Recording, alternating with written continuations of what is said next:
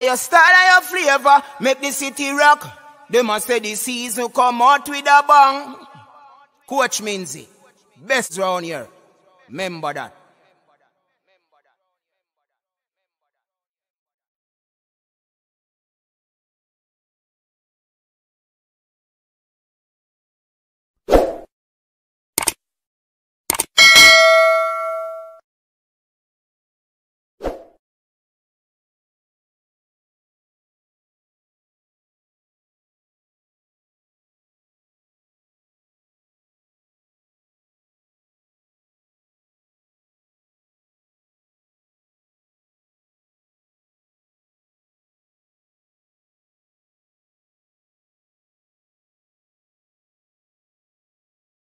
Your style and flavor make the city rock. They must say the season come out with a bang. Coach Minzy, best round here. Remember that.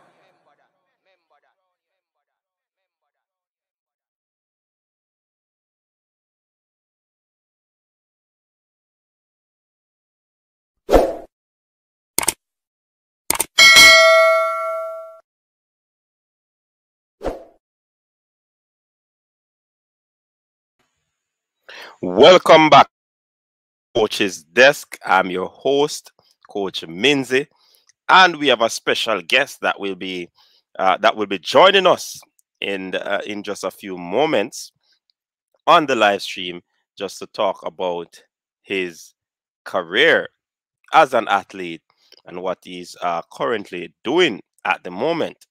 And people, I'm certain that you are aware on uh, based on what you would have seen on the thumbnail, the athlete, the big man, the school that he represented.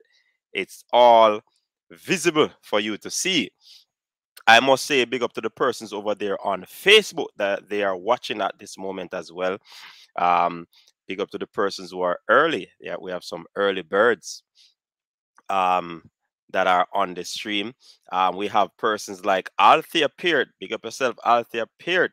And here's what Althea is saying this should be a great session. Haven't heard from him in years. So Althea knows who we are talking about.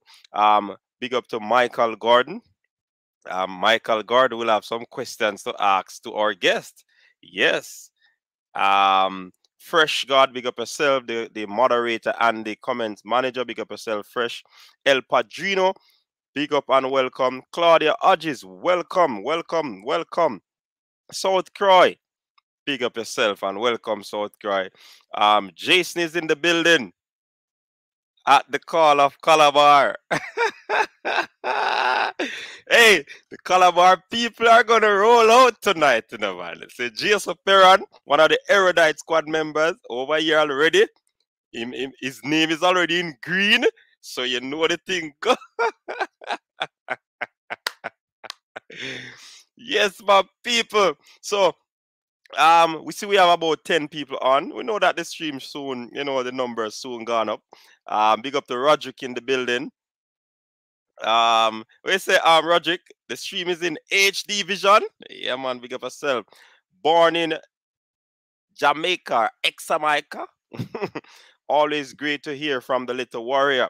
So I see that our guest has a whole lot of fans out there, know, man. Hey, that means that this is gonna take off tonight, you know. So Christ and the sons of Rabalak. Chano. hey, people, I'm feeling the vibes already. Yes, man, I'm feeling the vibes already. We're up for a wonderful time. Um, these comments are telling me that you know it, it, it's a good thing that will happen um, this evening on this stream. So we are giving about three more minutes. Then we get the the guest on. Um, sorry, we are hearing words in the track and field circle that Pocket Rocket, Shelly-Ann Fraser-Pryce might go up to Paris. That's 2024. So we will definitely be following that story to see what will come out of that in that moment. And there are some rule changes in track and field, especially with, um, you know, there was a rule that if you run on the line, you will be disqualified. Now I believe that they would have made some adjustment to that rule.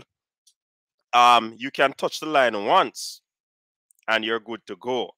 But if it is a continuous thing, then you're still in problems.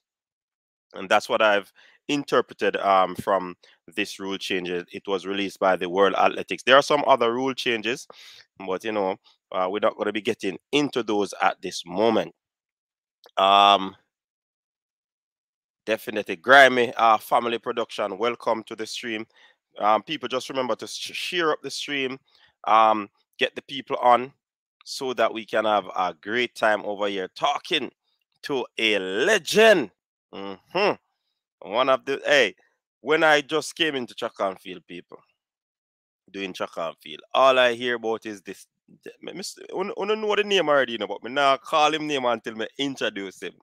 But all me here, I'm here, I've been hearing about was this prodigy, was this sensational athlete. You know what I mean?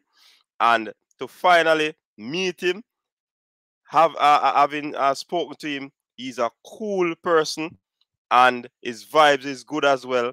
And for me to meet him, it's an honor. Yeah, definitely it's an honor. So definitely we are going to look forward. Well, I'm looking forward to hear him speak. Like what Richard would say, speak. yes, man. So um let me get right into it to introduce the man. Um, in 2006, Daniel was awarded the Athlete of the Decade, 1980s. And in April 2018, he was inducted into the Penn Relays Carnival Family Wall of Fame. Daniel, he actually holds a Bachelor's of Science degree in hotel management hotel and restaurant management, sorry, from the Northern Arizona University. He's also head track coach for several high school in Phoenix. And the thing said that it finished. This man owes a U staff or IAAF, which is now World Athletics Level 2, and MGCP certified coach. So, people, ladies and gentlemen, wherever you are in this world, help me welcome one of the most talked about athlete, separate and apart from Usain Bolt, one of the most talked about athlete, and we're going to have a great time listening to his story. Welcome. Put your hands together. Put some virtual hands together, now, people. Drop some something in the comment, man. Before we bring on the general. Come on, man, drop some hand unclap in the, in the comment section, some virtual unclap. Uh, wait, wait, what are you waiting on, people? All right. Welcome to Daniel England. Welcome, my brother. Hey, respect, Coach Minzy. Big up, big up. Hi, yeah, welcome, welcome, guys. Thanks for having me on your show, sir. It, it's indeed a pleasure for us to have you over here um, in England. Yeah, man. Um, how are you doing, by the way? Oh, that's well, you know, I took a nap just for your show, you know, so yeah, energy going, you know what I mean? Uh, but uh, all right. Can't complain, my brother. Can't complain. I have life. Definitely, you know definitely. And uh, we're happy that you're all right. So we're we're gonna get right into it. Um, should I say coach? Should I say former athlete? There's so so many accolades. Hey, look at look at warrior. You know, wherever works for you. I'm not that sensitive. You know. uh, all right. Cool. Cool. Not that sensitive, coach what, what I want you to highlight for the, the persons who are on at this moment is where did it all started? That love for track and field. You know, track and field. I mean, the first time I ran really is um, one of the older kids came by came by the house. Really and truly started on the bet. One of the older kids came by the house and asked my dad, "Say, hey, Mr. England, can I use one of his son to run a quick race? You know. So my dad asked him because my dad is a very militant kind of guy. You know, he's pretty strict. You know, um, we came from Maxfield Avenue, so you know, you yeah. have to keep the flocks them pretty tight. You know what I mean? So um, the guy called me out and um, and he told my dad, hey man, I, I want the short one, you know, because I was the shortest one in the family, the little warrior deal. So I came out, man, and um, I ran these older guys at the time. I mean, I think I was seven. These guys were high school, and um, I dust them out, you know. Got my fifty cents back in the day. You know, I was happy about it, you know, and that's how I kind of knew I have some form of talent. But my dad, my dad was the one that really um, got the whole family running. You know, uh, my sisters, my siblings. Um, I'm not sure if he was. Uh, um, he didn't make the team or something, but but, but, everybody everybody had to run, man. In in, in my household, you, you have to run. So so he just kind of take off as a as a young age, around seven, and it just kind of take off from there. It was something that I enjoy doing, you know. So and um, since since that one bet, it was it was never the same after that. Yeah, man, awesome. And see, we have a, a first super chat on the board from a, a, a, the utmost for the highest. You, you must know Dear that sir. meaning. Dear sir, Yeah, man, that's a Calabar first in the house. Tell Jason Ferran. Now, who was your first coach um when you started doing track and field? when I started the track and field, um, my first coach was uh, Coach Cox from Whitfield All Age School. Um, That's Mhm. where I went to school before I went to Calabar. And Coach Cox, you know, he was a teacher, of course. Back in the day, you, you multitask as a teacher. Mhm. The coaches wasn't really official coaches; they're just teachers, a substitute kind of deal. But Mr. Cox was a very um, tall, um, tall gentleman, and um, and he was take and he would take us to these different meets, you know. But it was it was pretty much on your own. We take the bus together, you know, and we take the bus home. So, but it wasn't really we didn't really have a track back then, um, at Whitfield All Age School. It was just it was a small school. But either way, I was training um, with my dad most of the time at home.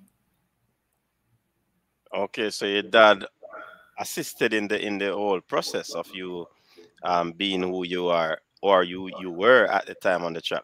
Yeah, man. My dad, we had to get up. We had to get up. Even even though I still it's still ingrained in me. I, I, we have to get up at five every morning, man. Mhm.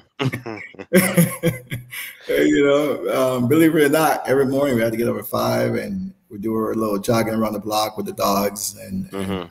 and you know run run leave the dogs sometimes. But um, but it was something that it's, it was an everyday routine. So going to school that was this additional training, really. So so that's all. All right.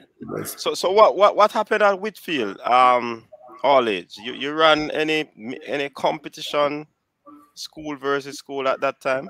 Yeah, man. Yeah, man. I mean, that's where that's where that's how I got recruited. Um, I Mhm. dominate Patriot. I dominate the all age champs. Um, pretty much just kind of run away with it. You know, Mhm.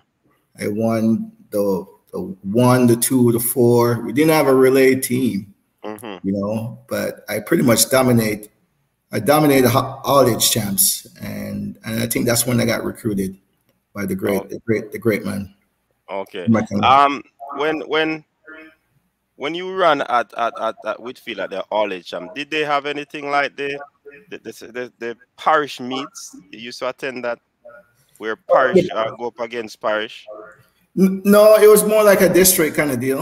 Um, Mhm. More like a district within the area. Um, Okay, you know, okay. the different areas around, um, you know, Kingston, hmm um, a little bit outside St. Catherine. I mean, it, the- the meet was, the meet happened, but, you know, was there a lot of fans like champs, you know, boys champs? hmm No, but, but the meet do happen. So, uh, so it was, it was on a lower scale. It's almost like, because I did run at primary champs too, you know. Russell Oh, okay. So So which which school? Russell Primary. Oh, Russell. All Yeah. right, big up to all the Russell primary people. Yeah? Come on, big up, big up, big up, Russell. All right. So after doing so well at the the all age champ, um, Calabar came knocking. Were your parents readily um accepted the the, the, the, move to, to for you to go to Calabar? Because sometimes parents wanted to go to a, a particular high school. You know, was Calabar on the list? Well, Calabar wasn't on the list, but end of the and Calabar wasn't on the list at all. Mm-hmm. But I'm not sure if you ever met Earl McKinley, but when you when you come across Earl McKinley, it's very hard to say no, man. yeah.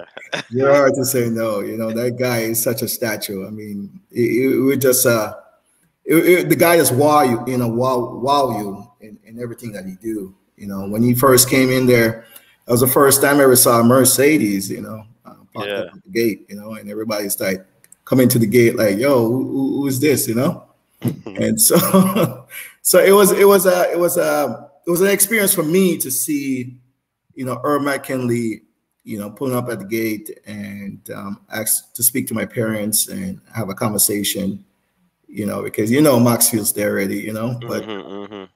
but he wasn't he wasn't scared of anything he, he, he was just you know he, he came and we had the conversation um, I had um, we had a few more high schools came by I won't mention the names but yeah. but definitely it, it was a it was an easier decision when once he once he came through came through the came through at the house. Yeah, man, cool. So somebody's saying that the first time they went to the national stadium to run, and they saw the whole stadium chanting "C bar, C bar" right around them. They said uh, in the stadium, the person said that he was. this the chant was so loud that that that he got stadium fright. yeah, welcome to stay. Welcome to Boys Champs, right? Yeah, Michael Evans, big up yourself. Um, talk to us about those years at Calabar because you got the name Little Warrior. I want you to tell us about that. And what was it like being at that uh, institution, Calabar? But I mean, back then, Calabar was such a huge, huge school to me, you know, Mhm. because there was a lot of legacy. You know, Earl McKinley is the one that kind of really gave me the, the pride and joy to wear the green and black. You know, um, Mhm. he just he just set the bar so high that if you wasn't, you know, pretty much if you wasn't going to Calabar, to me, I feel like you were missing out on things. You know what I mean? Mhm. there were so many resources there. You know, when I was at Calabar, I, I have everything, you know, to my fingertip. You know, people thought I was people thought I was sponsored by Adidas, you know. Yeah. Because I mean, all I wear was Adidas, you know. So everybody was like, "Yo, you know, you got you got you got a sponsor, you know, sponsor athlete." But but definitely, without Earl McKinley, I don't think I would enjoy Calabar as much, um, to be honest with you. But he, Mhm. he just set the bar so high. I mean, he's not just a coach; he was a mentor, he was a father figure. Mhm. You know, you feel like you're at family. You know, it's it's one of those environment you don't even want to go home. You know, you just want to hang out. You know, and kind of wait till wait till the, the, the rush crowd run off. You know, before you take the bus. You know what I mean? Mhm. But it just it just it just it, it was a good setting in a sense a family settings. You know what I mean? So definitely we we roar together. We you know we we go war together. You know we fight together, and Mhm. it was just that feeling alone was just um it was awesome, man. I, I can't really explain how, how good it was um, going at Calabar. Right. So you you you left Whitfield not into a structured training program, Right, and now you're at Calabar, the, one of the biggest school at the time. right. what was the, the, the training like? Did you were you able to adapt easily to, to what they were they were doing at the time? And were you lauded as a, a, a young prodigy who came in? No, no, man. I was I was on the bench when I went to Calabar. yeah, time about The time about- bench. Yeah, I was on the bench, bro. Because to be honest with you, my first race at Calabar was um was a medley relay, man. The Mhm. medley, you know, I was I was just I mean I, I had talent, obviously, you know, I got recruited, but I wasn't no, I wasn't even close to top three at all, you know. Yeah. So I ran I ran the medley relay, and that's how I got on on the team.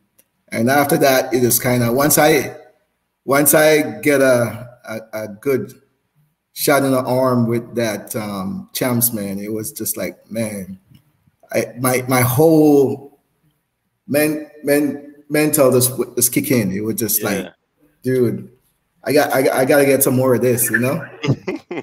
Yeah, man. It- It's, Yeah. It's, it's, no, I wasn't the good. at- I wasn't the top athlete when I first came. Okay, okay, good. How how did, how did how did you get the name Little Warrior?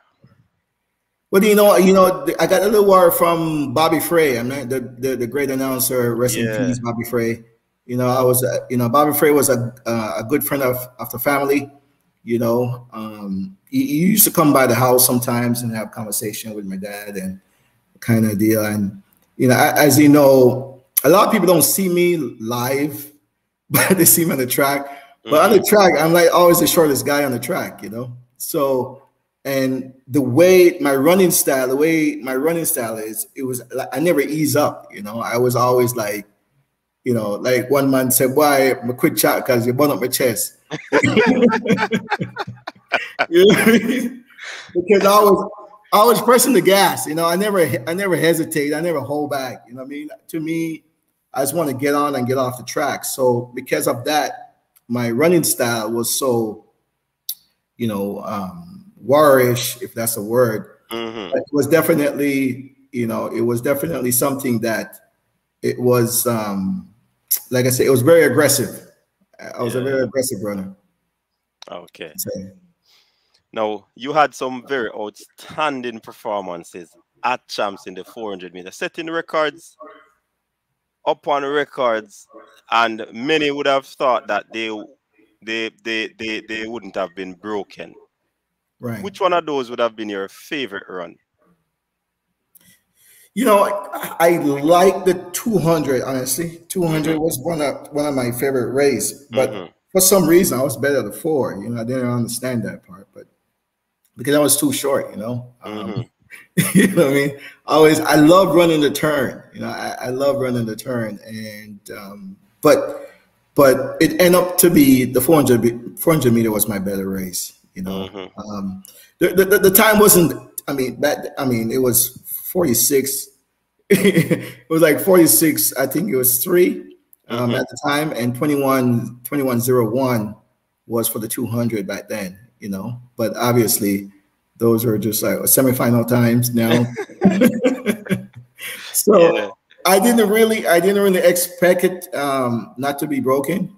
It, it was, it just to me, I was just running because you know, I love it. You know, I, mm-hmm. I, I enjoyed the crowd while I was running. So I didn't expect the time to be, you know, hold up for too long, but but it because it, it, it, was it was two four man. Make no mistake, a lot of people don't understand running a two four and have records in two and four. It, it's it's very hard because yeah, you know, as you know, as coach, you know, you can't deplete it, your whole um, energy source. You right, know, right. 400, you know, you have to save some for the two Mm-hmm. And, and, and so you have to, it's like a balancing juggling act. So it was very so I didn't you know if it was just a four alone, I think it would be lower. Or if it's just a two alone, I think mm-hmm. it could be lower. But it, it was one of those um, management um, protocol that we have to manage uh, my my my energy system um, with mm-hmm. because of the the time frame between the two and the four.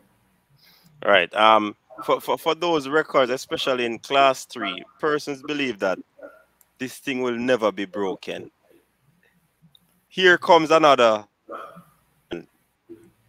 They call him Kobe, Christopher Taylor. Yes. When you heard that this youngster broke a record, what what really went to your mind? Well, you know, it's it's you know, records are made to be broken, man. Mm-hmm. And and the fact that it's a Calabar guy that did it, you know, I'm okay with it. you know, anything yeah. Calabar, I, am I'm all I'm all I'm all hands on on that. It's no problem. But you know, make no mistake, you know, um, CT Cubby, you know, was one of those you know exceptional kid that comes around every every five years, you know, every, you know, so it's not like he didn't have talent, you know, the kid that mm-hmm. range from one to four, one to four, and it's very rare you have a kid that have that kind of range. The last mm-hmm. kid was um, Ali Watson. Yeah. I think it was the last kid that have that kind of range. So, you know, you have to give the kid props, man. I mean, the kid was, um, kid was, I mean, he's still a talented kid, uh, I should say. So I have no gripes about him breaking my record. Okay. Now, you had some you basically had an unbeaten streak at champs until that day when you were about to, to, to leave champs. What was it like just to be blown away these athletes? Were you like did you feel like you were invincible at the time? You know, honestly, it's it's it's it like I said, that's why I think I got the name Little Warrior because, like I said, I was just like, you know, someone said I run kind of mean, run angry, you know. Mean running, yeah. I yeah, know that term. Uh, I know that term. You're running mean. Yeah, the man run mean, brother. Yeah. You know? But you know, honestly, I'm not lying to you, coach. When I hit the track, you know, before I hit the track, you know, you know, go to that huge tunnel, you know, feel like uh, I'm at the the the, the Rome facility, you know, the, the Olympic Rome. Mm-hmm. Once I hit that track, man, I'm telling you, I, I don't hear anything. You know, it's like it's like what I'm doing out there.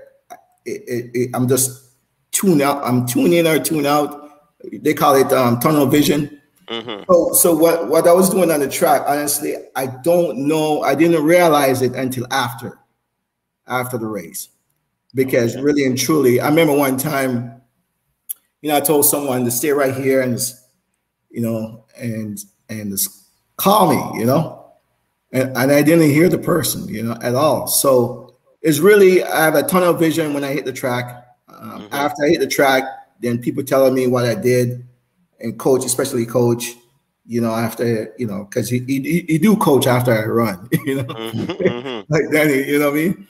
But it, it was something I, I, realized after the fact. It was never in the race itself. I realized what I did was okay, um, okay. so exceptional. Yeah. All right. Um, many would say this was one of the, the, the most outstanding races of, of your, your career at Champs. But let me before I get into that, there was there was this um Michael who said that the race that you beat Thomas Mason. Yes. You, you want to tell us about that one? You know, honestly, man, I'm still. If anyone have that tape or recording, mm-hmm. I would pay for it because that to me that was one of the biggest race I ever run in my career. Mm-hmm. Because going in as a class one, I was a first year class one back then. Mm-hmm. But going in, there was a trend, right? So um, yeah, Kerry Johnson. I'm sure you know about Kerry Johnson, Camperdown. Mm-hmm. Yeah, big he was in Camperdown yeah. crew, Zane, and everybody from Camperdown. Big up yourself, Dr. Alan C. Cunningham, um, Teddy. So Kerry Johnson beat Howard Davis from Calabar, right? And then and then Thomas Mason beat Kerry Johnson from Camperdown. Then here comes me, right? So it's every first year winner, every first year athletes beating up the, the seniors, right? So it was my it was my time on deck, right? Mm-hmm. And I'm telling you, brother, I was, I mean, you're talking about short, because these guys were they're they were tall guys, you know what I mean? Kerry Johnson, Thomas Mason were very tall guys. Roberts from Georges, he was a tall guy too. So I was the shortest guy by far in that race. But I'm telling you, man, when that race ran, I'm telling you, bro, it, it was it, it was something. I run scared the whole time. you know what I mean? I, I was just gone, man. I, I when I ran that race, it was one of the most heart beating, heart trumping race ever. And the fact that I, I, I continued the trend and then I ended, make it special. So the next year, I think that um, your guy there from Jago, um, mm-hmm. um, what's his Powell? name? Norman. Um, young is is um, for class three champion, class two champion from Jago before Powell. It soon come to mind. But but, but it, killed, I'm sorry, Dane Edwards. Dane Edwards. Dane Edwards. Yes, yes, yes. Dane Edwards. Right. So Dane Edwards was the next kid, um, first year one, and um, and of course he never he never um, had a chance. But um, but the fact that I, I continued that trend and ended, I think that was my my my glory. To me, it was my glory time, glory race. But it was it was an exciting race though. Mm-hmm, mm-hmm. No People, if anybody out there knows where we can get a hold of that tape, please get in touch with me so we can get it, the, the, the, the little warrior this this did. Pay for it. That's yes. how much he, he, that, yes. that race meant, meant to him. But there's a, there was another race where um Donovan Powell, one of the Powells, brother, Yes. handed you your first defeat ever at champs. Talk to about that one. Man, you have to bring that one up, right? Oh, hold on. Why you think about it? While you think about it, big up to all the persons in the comment section. I'm I'm gonna ask you to get your questions ready because I'm I'm certain that you have questions to ask the little warrior. Um, shut another Calabar man, the utmost for the eyes. Big up yourself for that super chat. And all like Calabar people them in the chat. You can just throw down some some some lion head on the the, the, the comment section, no? all right, all right, little warrior. Answer that question now. I know you don't want to hear that question. I know, man. I know. I know. I know. we have bro. to ask you that one. What yeah, was going through your mind when that race happened? Man, I'm telling you, bro, that race right there was my first experience that that happened and you didn't know what to do. You know what I mean? Because in every race, me and Herb McKenley, we have a plan. You know, we either run the first two, you know, run the first three, you know, run the first 160, you know, run the fir- first 180, you know. Mhm. So so the plan for that race is is run the first 160, right? Come off, you know, and just hold on to their life, right? Mhm. So, but it's also mental too, between me, you, and the fans. Mhm. The way we ran races was if I'm already in front of you, you should be deterred from trying to catch me. Mhm. You get what I'm saying? Because if Daniel England is in front of you running, you're not going to try to catch him. You're going to try to secure your spot. you- There's no way you're going to catch him, right? Mhm. So, but Donovan, man, that guy um turned it up the last, I think, last 60 meters. He joined me. And I'm telling you, bro, I totally panicked. Uh, if I did, I totally panicked because it never happened to before, you know? Right, right, right. um, the, the, the time wasn't even that fast, to be honest with you, because in, in the semifinals, I think that race was 21 2. You know, it was a, it was a slow time Mhm. uh, because I run way faster in the semifinals. But I just really, honestly, I panicked, man. And normally I could change gears, if you understand what I'm saying. But I couldn't change in the gear because you're this guy. you called me, I panicked, and then the race over. You know, it was just, it happened so fast. I'm like, man, dude, I'm telling you, bro, you could hear a, could hear a pin drop at the stadium, man. It Yeah. was, um, it was very, it was a shocking, shocking defeat, my man, shocking defeat. So what did your coach say? Because you you said um previously that he coached after the, the, the, the race. What did he say in this one? Well, I mean, honestly, he was like, "Hey, man, um, shake it off because we have the four by one, four by four. You know, Mhm, mhm. um, you know. He asked me, you know, what happened, and I told him I, I just literally tied up. You know, I, Mhm, I mhm. couldn't. My range of motion was was shrinking. I, I didn't have the the long, lanky um, stride coming in. You know, Yeah. I pretty much kind of shrivel up per se, um, shrink in in my um, my stride frequency, I should say. But um, but he was just like, do this, you know, um, let's get a shakeout because you normally I get a shakeout Mhm. after the race, um, get some refreshments, and um, you know, you know, the, the crowd, the, the the group, the troop, um, kind of rallied behind me. I mean, everybody was kind of stunned. Really, everybody was just quiet, you know, but no one, no one ever expected. So, so coach just kind of came around and said, "All right, guys, let's get the relay team together. You know, we have a championship to win." So we just did that and just move on. You know. You still I won the championship that year, right? I'm sorry, repeat. I couldn't hear. You won the championship that year, nevertheless. Yes, sir. Yes, sir. We, we definitely um, came through uh, on, on on top there. Yes. Yeah, man. You know much people glad to see you, boss. a comment coming that um um from Karen Higgins. She said, I always wondered what happened to England. So a lot of people, even when you talk, know you talk about track and field, you, you, you meet on the corner with some of your friends and you talk track and field, your name has to come up. No doubt, no two ways about that. right. So you're right. really a, a, a- a legend in the thing, you know. Um, what happened when you when you left Calabar, because I'm certain you did you get an opportunity to rep Jamaica at the Carifta Games and these Judah Games? Yeah, man, the Carifta Games. Remember, we had the World Games in '88. Um, we had the World Games, World Junior Games. So was that was that was that was the first um, ever group put together by Jamaican uh, by the Jamaican Federation um, as a youth. And um, Carifta Games, yeah, we dominate Carifta Games. You know, um, Games was easy. Mm-hmm. Um, I remember came back at the Mutual Life Games. Yeah. And performed me and um, Raymond Stewart, Howard Davis, Mm-hmm. and um, John.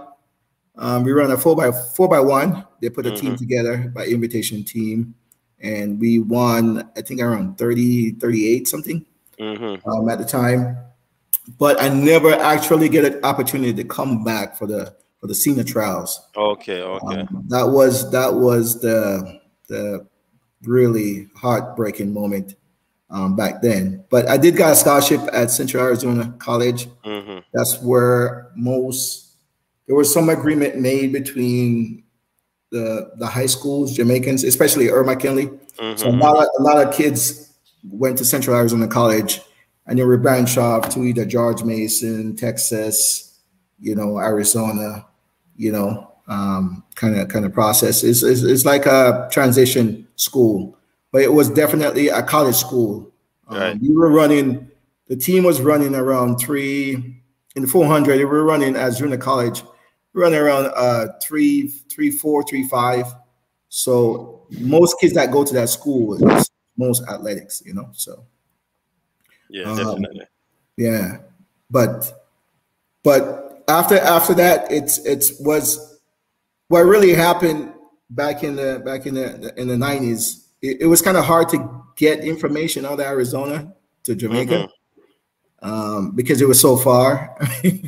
I mean, I tell people I'm going to Arizona, like, dude, what, what's out there, you know?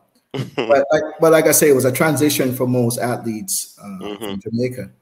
Um, after I think it was '92, you know, I couldn't fit the bill. I couldn't. I couldn't get on a plane for the trials.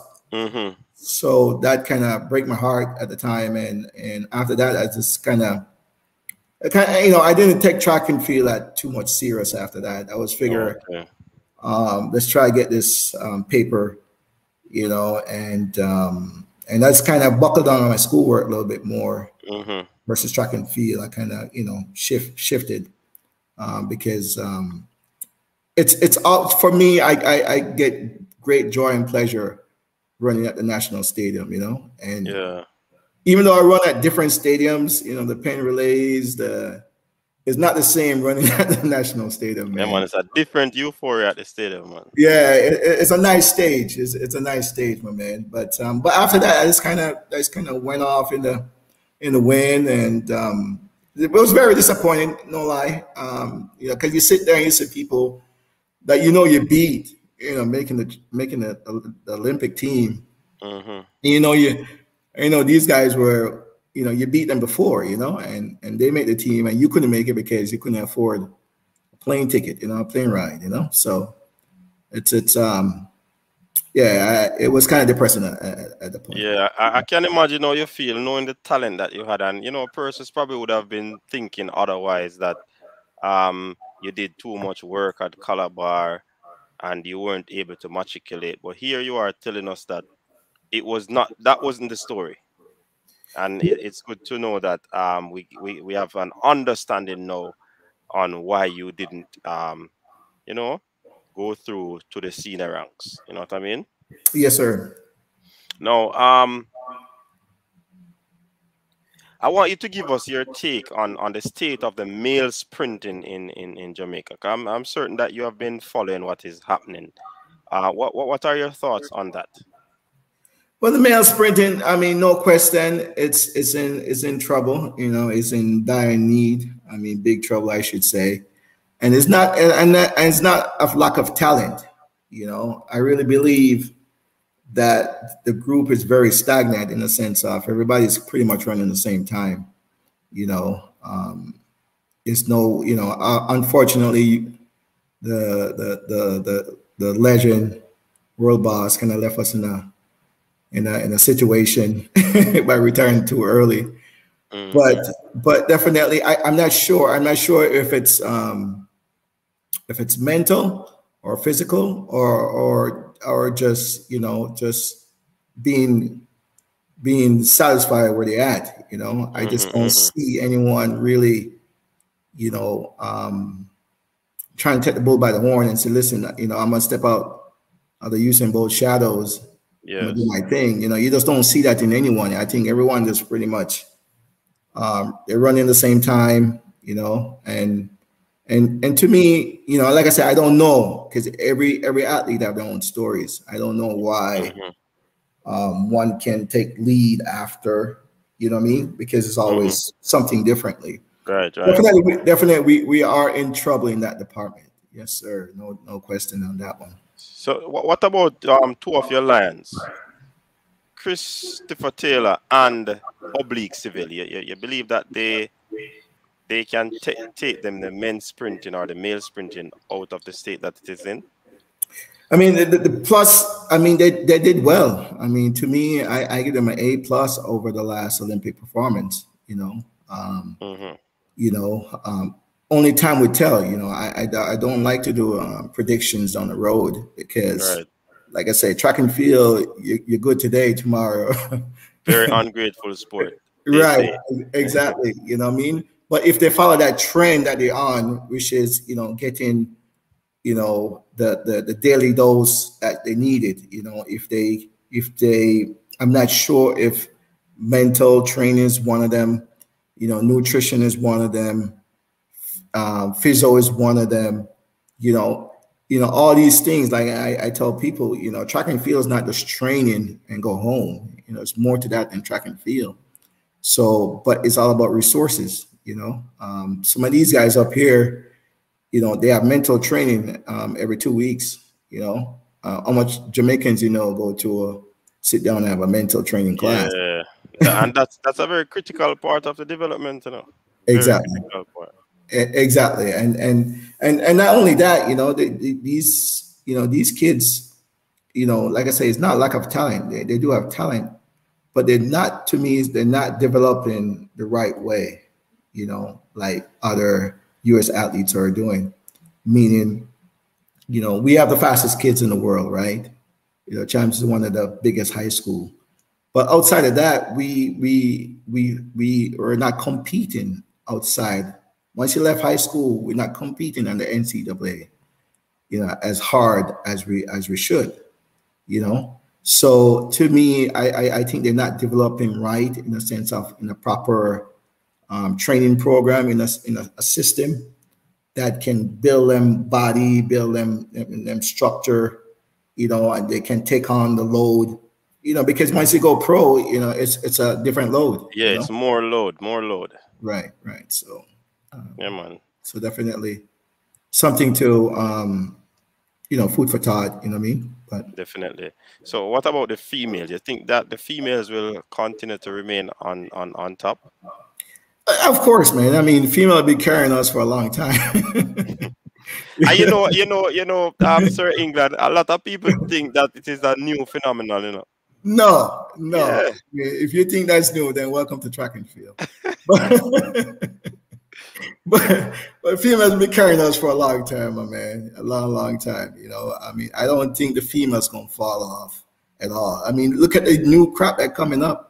You know, that new crop is, is just amazing, bro. Yeah. I mean, the whole new section there, the the the sisters, the Carolina Davis, the you know, um, one from Florida here. Yeah, Briana. Briana, yeah. you know, Briana Williams, you know, Miss Williams you know that I whole herd, if I could say that, you know, that's that's that dude. I'm telling you, man, easily three to four years, easily. Yeah, we, definitely. We're gonna, we're gonna, dominate, easily dominate there. You know what I mean? Definitely. Uh, for for the persons who are just coming in, um, welcome. Um, we would have said this already, but someone is asking the question: Are you still are you coaching and are you still involved in the sport? Yeah, definitely. Um, right now, I I do. I, I have a foundation, the Down England Foundation, And as you, um, I'm not sure if you heard, but I did the first athletic summit um, in Jamaica in 2019. Mm-hmm. You know, um, I do. It's a, it's, a, it's an educational program, you know, and and what I'm trying to do is help every athlete, every child in a transition that could help them for the next for the next level, right? Mm-hmm. So I do coaching, but I do not only you know, physical, I do mental coaching, you know, because I think that's one of the main reason. Um, once you go to the higher level, it, it, it makes you so much different as an athlete, mm-hmm. you know. Um, but yes, I do coach and I do athletic cons- um, consultation. You know, um, I do, like I said, I do a lot of um, anything athletics, man. You know, um, the, the goal is to you know be involved with you know Jamaican youth athletics program somewhere, some of some form or some shape. You know what I mean? Because I really think um, there's more to track and field that I think as a whole Jamaican um, can take advantage of. You know, mm-hmm. um, and I think I provide that service if if someone want to hire me. You know, I'm available. you know, in the athletic department. Mm-hmm. But definitely, um, I do coach high school at the time um, mm-hmm. right now, and I do coach um, club track. So um, after high school, then you take an hour break and they of hang out with the club track. Mm-hmm. I love club track kids because they they they they dedicated. You know, um, okay. high school kids. You know, parents just want you out the house. yeah. It's not like Jamaica, you know. Jamaica, hey, you're doing it because hey, man, you want to go out far and you want to be in a scholarship, you know. But the high school here, you know, it's it's mostly leisure.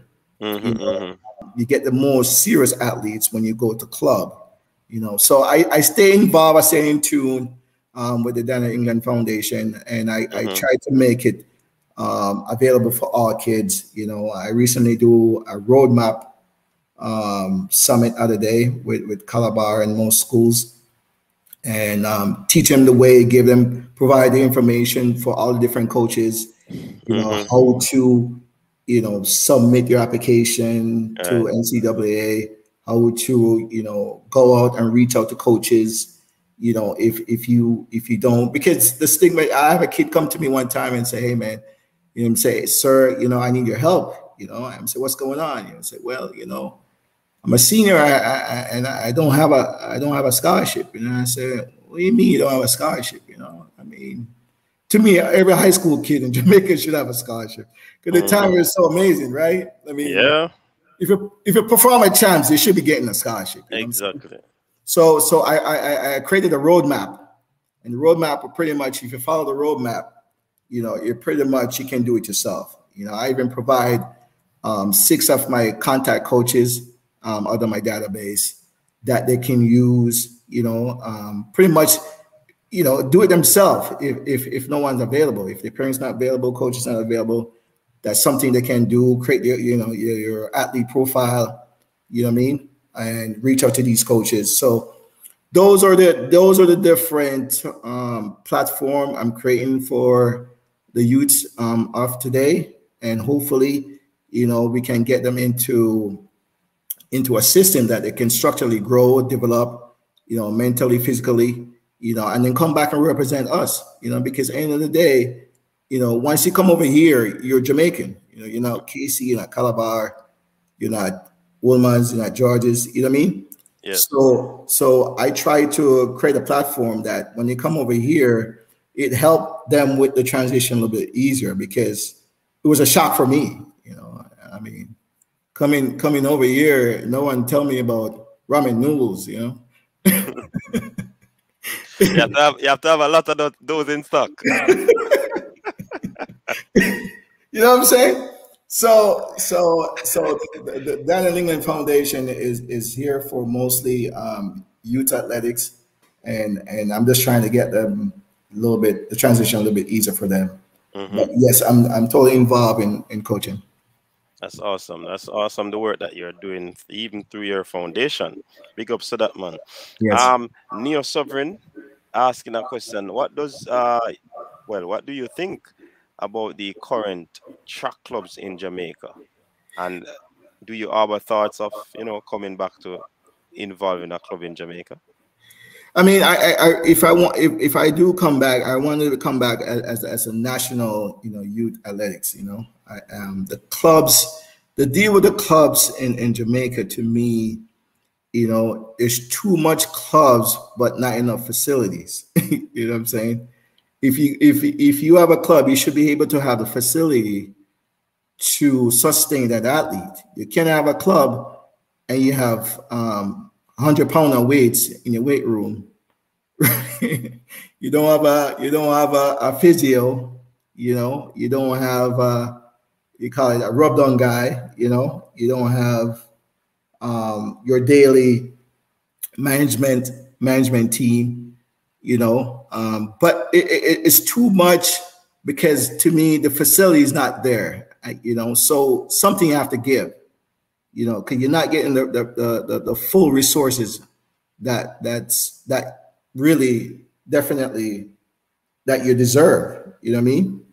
Um, but there's nothing wrong with the clubs. I just think if you have a club, you know, do it right, you know, do it the right way, but you have all the resources that athlete needs to succeed. You know, you can't just say, "Hey, I'm gonna build a club," and all you do is train and go home. Right. You know? It, it, it, doesn't work like that. You know? Take care of all of the uh, other facets that involves the sport.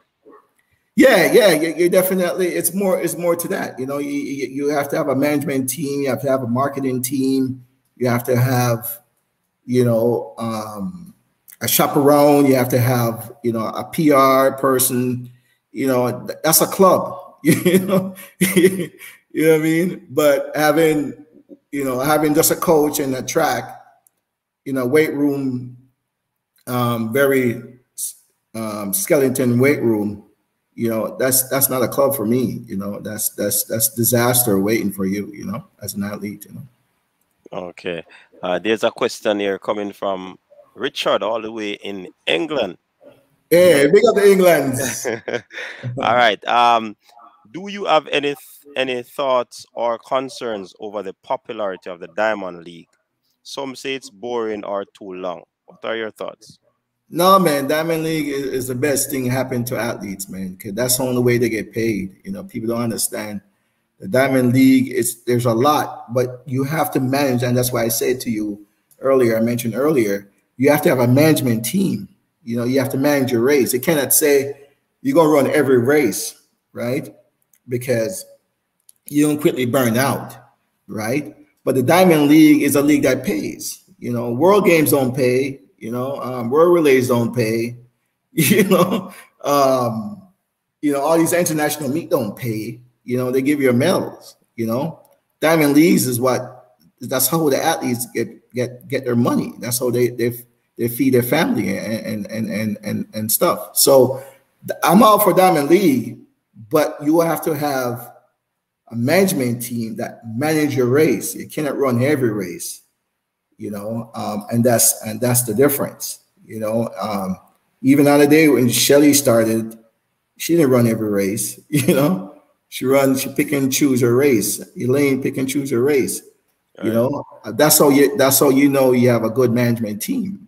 You know what I'm saying? So the Diamond League is there it, it's it's there for the athletes that that need to get paid. Need they need money, you know. So why not? You know. All right, great. And we have a Li- Elaine Livingston again from UK, England. She's saying that it's nice to see you, and she's not a Calabar fan, but one thing she can't forget, um, you on that corner.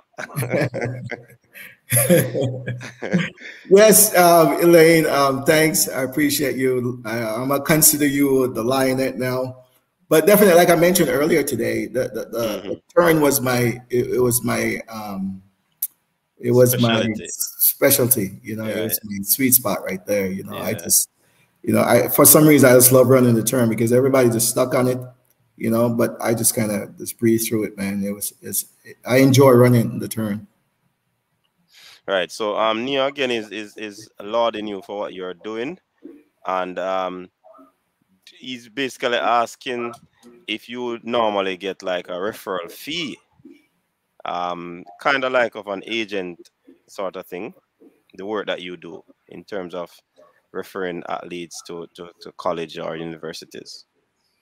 I mean, unfortunately, I do not get a referral fee because normally, if, if you're doing college, obviously there cannot be too much funds in it. You know, mm-hmm. my joy, my joy and passion is is you know I'm Jamaican first, and I'm Calabar second. You know, so to me, if a Jamaican do good on the on the on the, on the stage, you know, I feel proud of that. You know what I'm saying?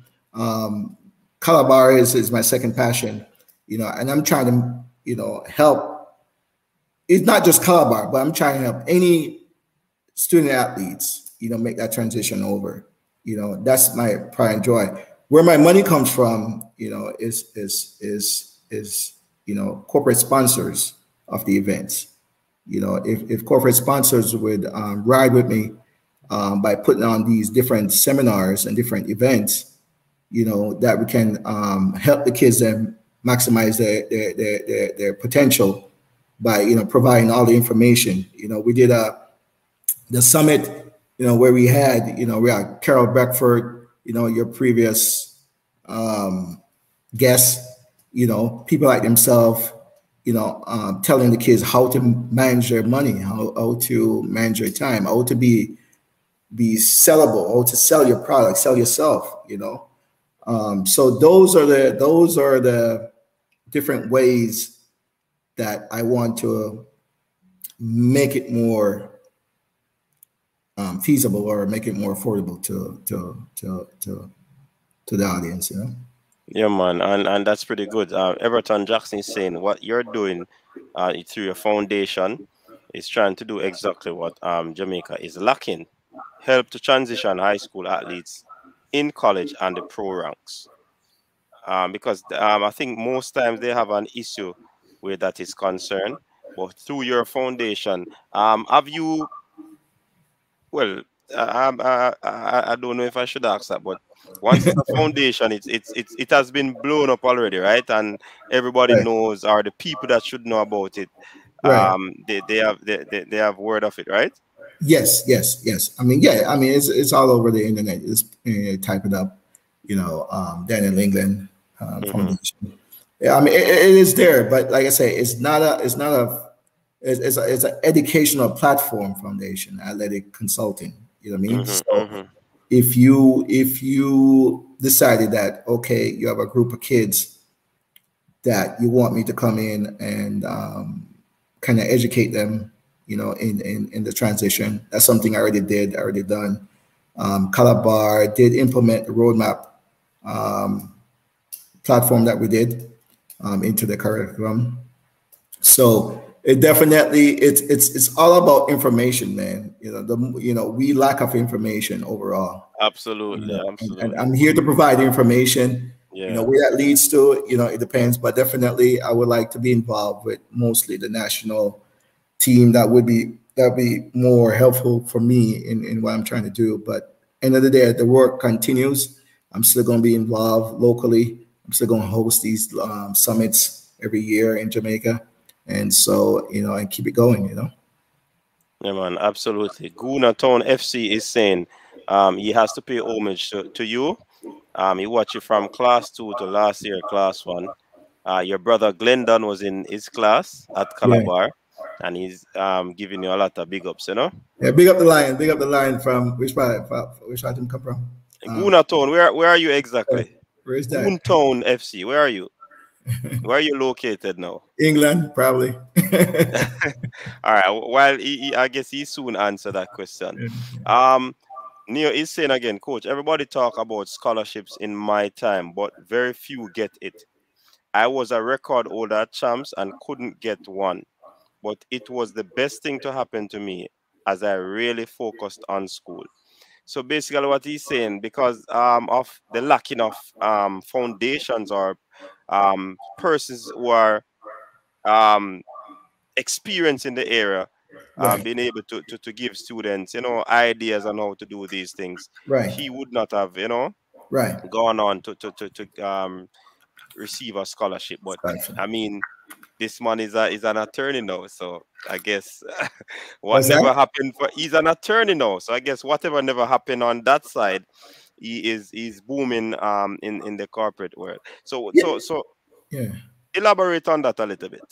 Yeah, I mean, and, and there's nothing wrong with that, you know. It, it, like I say, we we lack the information. You know, um, sometimes the top tier athletes get the most information versus um, the other tier athletes, and that's why I'm doing these programs. You know, I want it to be available, accessible to everyone, regardless of your status. You know, I mean, once you're a student athlete, like I say, that's why I created the, the roadmap um, um, um, platform.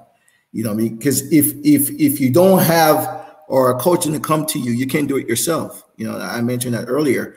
That you know, I, I try to provide the tools and the information that you know someone like himself could have take the information and provide. Because I have I, I know athletes that came to America that really didn't do track, but you know what? They, they hey, I went to Calabar on Calabar track team.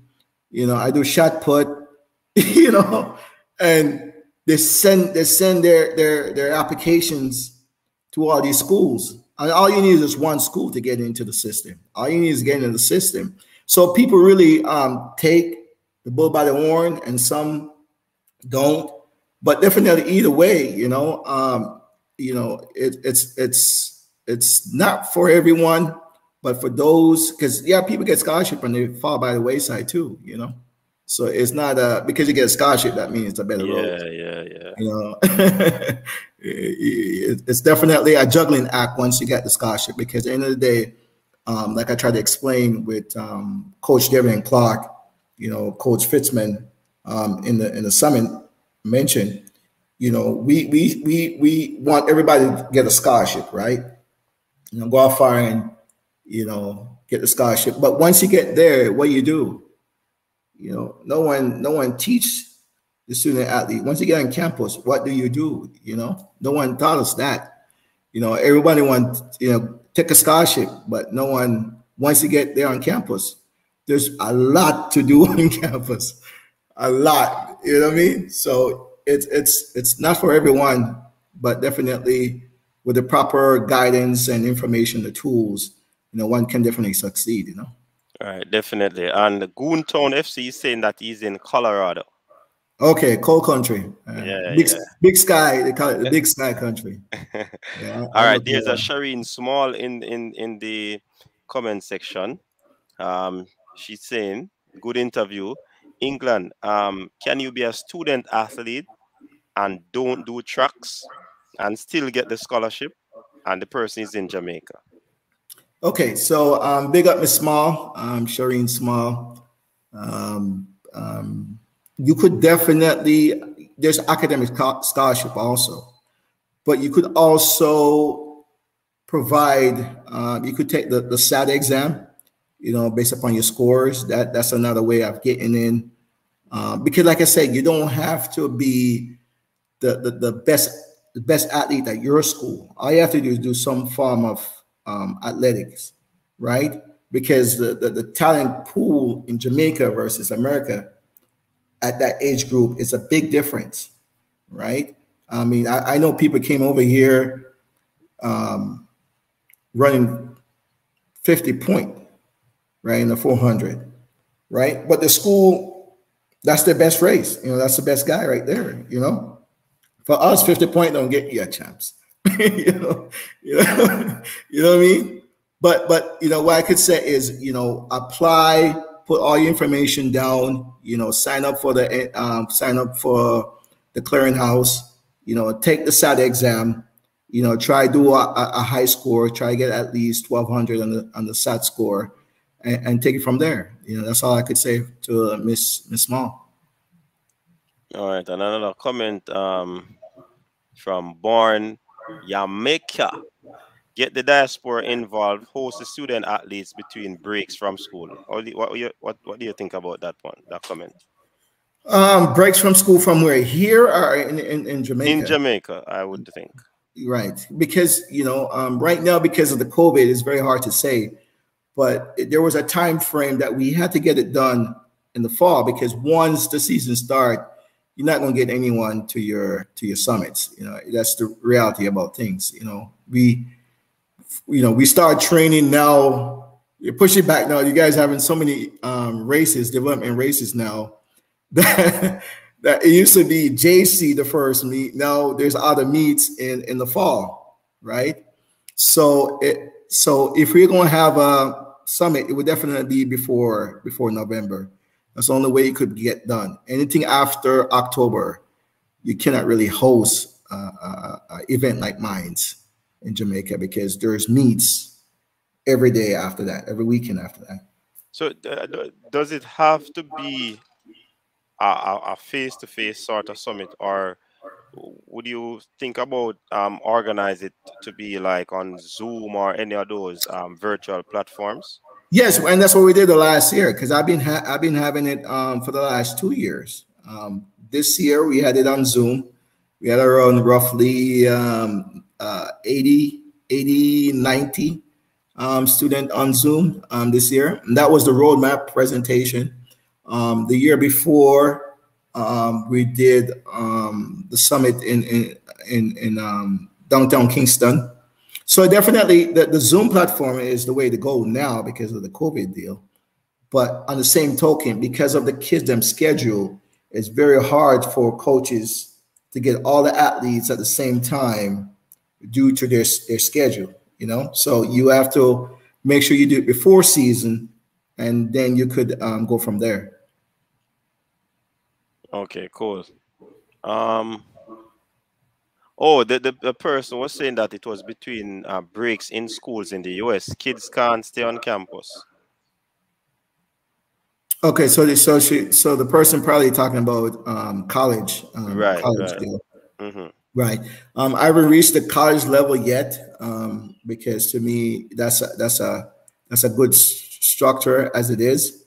You know, um, once you reach college, um, they have their own management team, they have their own facility, they have everything to your resources. You know what I mean? So I don't think they would need me to have that kind of. Um, it wouldn't be beneficial for them um, per se, um, Coach Lindsay, because they already have those resources to themselves. The high school kids, they don't, you know. So, um, so the college kids, they they already set. They they they they, they got their gears. They have the money.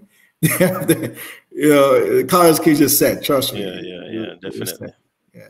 All right, Claudine H, uh, welcome. She's saying that does anyone help the students trying to trying for these scholarship with the culture shock when they get here in the states and equip them how to um, survive.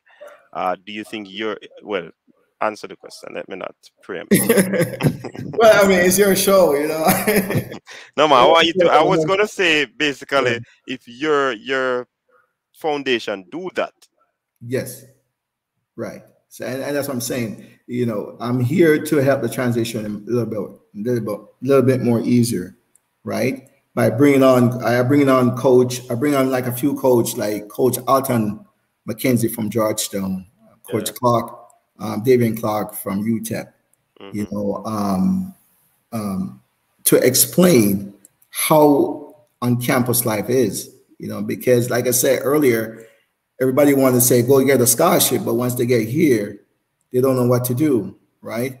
And these are the things I prof- I, I, I provided um, in the summit. Right, you know, right. once you get on campus, right, uh, you have to manage your time. You know, you, um, like Coach Clark said, you know, it's not something because no one tell you to go to bed. That means you don't have to go to bed, right? Um, you have to know how to manage your money, right? Because you're gonna have money now that you normally don't have, right? And Right, next, right. it's a stipend.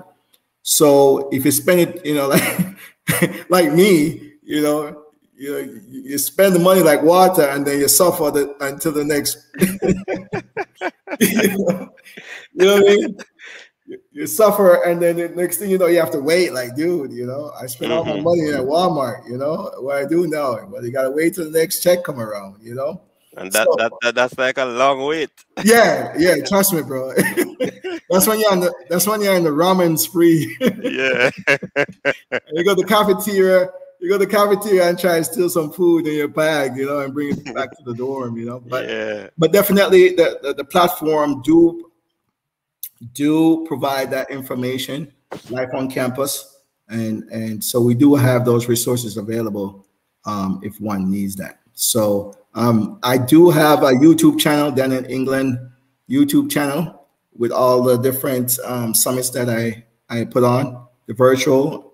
So um, your fans and my fans and your fans can definitely check it out. Yes, definitely. And see if they could um, definitely gain something from it. Yeah, man, I'll put it in the description of this video for persons to go on and, and check it out. Yes, sir. This, this is something very, very, very important, very good that you're offering to, to, to student athletes. And you see, persons like like like yourself who, who would have gotten so much out of the sport um through a Herb McKenley, um, whoever was was you know, you'd have crossed many persons who would have assisted you on your journey and for you to be giving back it, it is a very very very i can say very very very very good venture um there for you. I know it's early days in terms of um the world championship coming up next year but any predictions on the 100 for male 100 for female uh, any predictions? Like I said, I told you earlier, man, I don't do predictions because you know, as athlete, we know what can go wrong. You know, we know what what it takes. You know, what I mean, we just have to keep watching, watching the tube, watch, you know, watch the different meets, see how they develop, you know, each time because, you know, as you know, I mean, even the trials, you know, people that win their trials don't win at the games. certainly What, what do you say about that? yeah that's true that's true definitely true Right. What do you say about that? So, you know, as an athlete, you're trying not to predict because you know, you know, that the, the, the track speak for itself. You know, you could say all you want to say, you're in good shape, in good form. But end of the day, the track speaks for you, not you speak for the track. So it, it is something we don't, I, I don't do it, you know. So I know we Mhm, mhm, mhm. don't do it. All right, there's another question. Was it true that um Herb was hard on his athletes at Calabar? I mean, it, it, it wasn't hard. Herb McKenley was a guy that he do a lot of speeches and he cries. I heard. I let me cut you. I heard when he stands before the boys, you know, Right. and they have probably the final day or the penultimate day or even before champs, and Right. he stands and start to pour out to them. It's it's like it lifts the the, the, the, the whole mood of the boys. Talk to us about that, man. Especially when he starts to cry. Right. So so so you as you as a young lad, you know, you see this guy, you know, just started. I mean, he started off nice, you know. All right, guys, you know, I mean, you know, this is this is what's coming up. This is what I have to do, and and and man, and then McKenley start going into man. Listen, you know, you have an opportunity to be great. You have opportunity to make your family proud. You have opportunity to make yourself proud. You have opportunity to make me proud. And then you might start crying, man. I tell you, bro. They said anything that guy told us to do, I think we'd have done it, man. legally, not legally. Because I'm telling you, when that guy done with his speech, Coach Minzy, I mean, you're so uplifting, it's so powerful Yeah. you know, and, and and I think you know I wish they had more Earl McKenley in in the system, you know, because it, it was such a mental mental um, game changer for everyone. I mean, even guy that came and run, Yeah, yeah. you know, I'm like, man, I'm, I'm coming out, you know, just stop busting out. They're like, dude, why you out here, you know? but it, it's you have to be there to experience Earl McKenley's speech. But I'm telling you, bro, when Earl speak, it gives you a new sense of empowerment. You know that that I'm telling you right now, bro.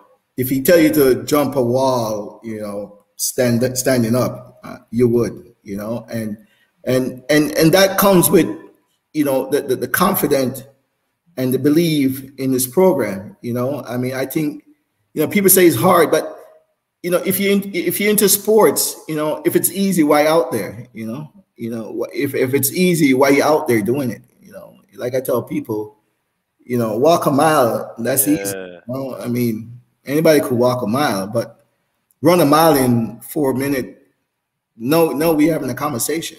Mhm, You mhm. know, because I know you're stressing your body, you- you're doing the work. You know what I mean? So pressure on the knee. Right. You know what I mean? So if you're out there to try to easy on sports, anybody go out there and try to be easy on sports, man, you, are not ready. You know, you you you're buying time. yeah, man. That's what it is.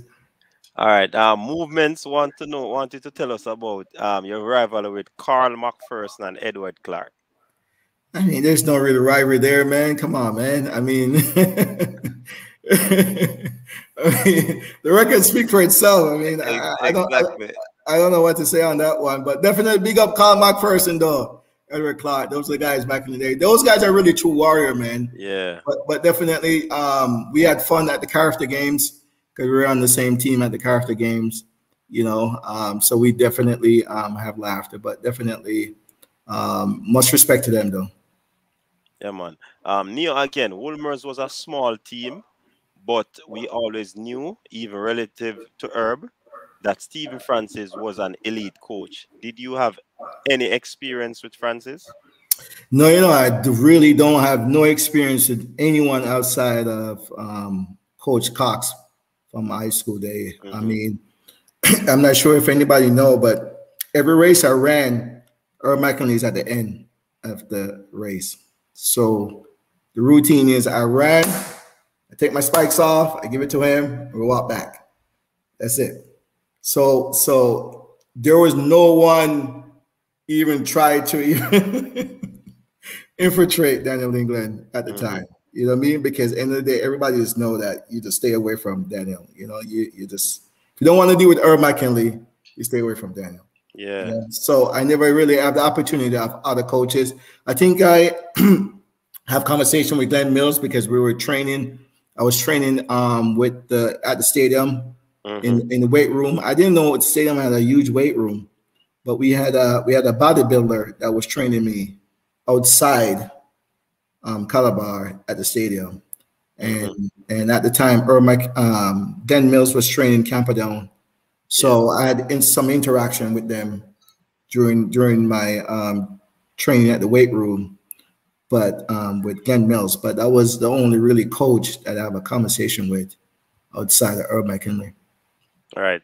And again, let me put out the signal. If you have any way to get that tape between Daniel England and Thomas Mason, and Kerry Johnson. Kerry Johnson, yes. Please, please, please link up, link up. Yes. Man said you'll pay uh, any money for it right now. That that's was, that's one of his his his, his best race uh race out of his uh, catalog to date. Right. You know what I mean? Um any any more questions from the audience? He spoke about Thomas Mason already, Michael Gordon. Um spoke about Donovan Powell already. Um Kerry Johnson as well. Yeah, man. He spoke about those.